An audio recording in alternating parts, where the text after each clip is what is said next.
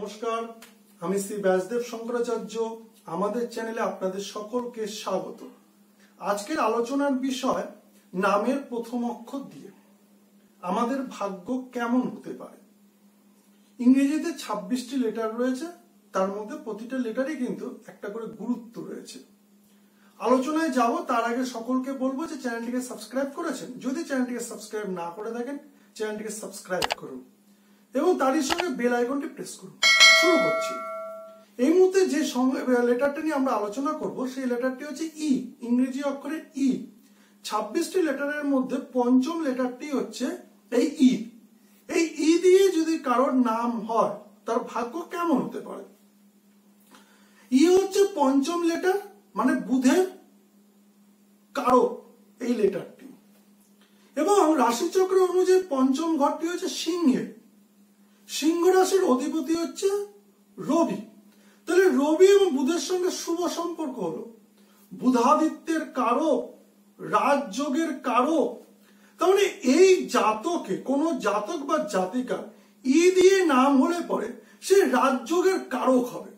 যেন কেন মতে অন্ন, বস্ত্র, বাসস্থান তার কিন্তু জোগাড় হয়েই যাবে এবং জীবনে তার উন্নতি চরম পর্যায়ে পৌঁছাবে। এবং সে না চাইতেই অনেক কিছু কিন্তু পেয়ে যাবে। এবং তার মনের মধ্যে একটা বিশেষ করে আক্ষেপ থাকবে ভালোবাসা।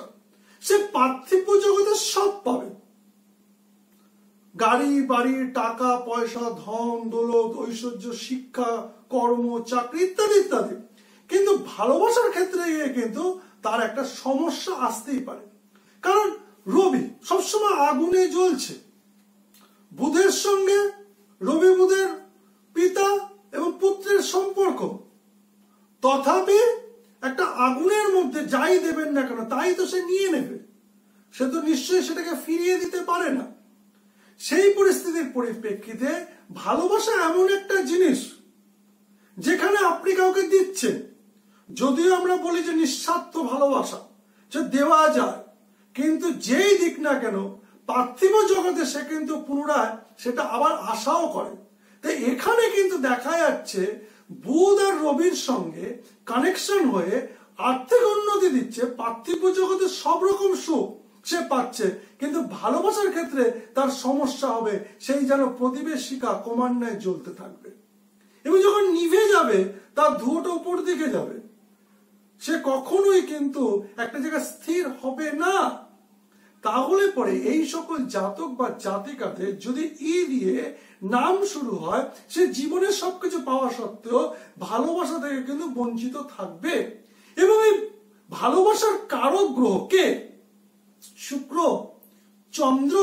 এই রবির সঙ্গে চন্দ্রের এবং শুক্রের কিন্তু ভালো সম্পর্ক নেই। চন্দ্র এবং রবি যখন একটা অ্যাক্সেসে চলে আসে বা একত্রে অবস্থান করে, তখন কিন্তু দেখা যাচ্ছে অমাবস্যা কোটাল কিন্তু দেখা যায়। সেখানে কিন্তু একটা অন্ধকার পরিস্থিতির সৃষ্টি হয়। শুক্রের সঙ্গে রবির সম্পর্ক যদি হয়, তাহলে পরে বা সেটা যদি খারাপই হোক বা ভালো সেই সম্পর্ক কিন্তু আমাদের ভালোবাসার জীবনকে বা শয্যা সুখের ক্ষেত্রে কিন্তু আমাদের সমস্যা সৃষ্টি করে।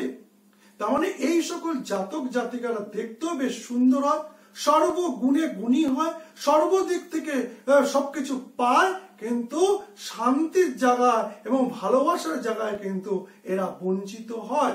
তাই এই জায়গাটাকে ঠিক করার জন্য জ্যোতিষীর পরামর্শ নেওয়া অবশ্যই প্রয়োজন এবং পরামর্শ নিয়ে কীভাবে তার প্রতিকার করলে পরে সবকিছুর মাঝখানে সে ভালোবাসাটাও যাতে সমান তালে পায়, সেদিকটা কিন্তু তার দেখা উচিত। আর যদি মনে হয় যে আপনার সঙ্গে এই বিষয়গুলো একেবারে মিলে যাচ্ছে, তাহলে দেরি না করে অবশ্যই পরামর্শ নিন জ্যোতিষে। আর যদি মনে হয় আপনি আমার থেকে পরামর্শ নেবেন, তাহলে পরে উক্ত ফোন নাম্বার ঠিকানাতে যোগাযোগ করুন। যোগাযোগ করে চেম্বারে আসুন, আর যদি দূরত্বের কারণে বা পরিস্থিতির কারণে আসতে সম্ভব না হয়, তাহলে পরে আপনি হোয়াটসঅ্যাপের মাধ্যমে বা ইমেলের মাধ্যমে, জিমেলের মাধ্যমে যোগাযোগ করতে পারেন, এবং তারই মাধ্যমে আপনি আপনার ডিটেলসটা পাঠাতে পারেন, এবং প্রয়োজনে, প্রয়োজন একটু কি? যে আপনাকে ফিসটা পাঠাতে হবে। অনলাইনে বিভিন্ন যে মাধ্যম রয়েছে, সেই মাধ্যমে ফিসটা পাঠাতে হবে। তাহলে পরে আপনি ঘরে বসে আপনার সমস্যার সমাধান করতে পারবেন। আর যদি মনে করেন আপনার ভালো লেগে থাকে অনুষ্ঠানটি তাহলে লাইক শেয়ার এবং কমেন্ট করতে একদম বলবেন না। আর অন্য কোনো লেটারে যদি আপনার প্রথম নাম শুরু হয়ে থাকে, তাহলে এই চ্যানেল অবশ্যই নজর দিন। দেখবেন আপনার জীবন বর্তমান অপেক্ষা আগামী দিন আরও সুন্দর হয়ে উঠবে। ততক্ষণের জন্য বিদায়।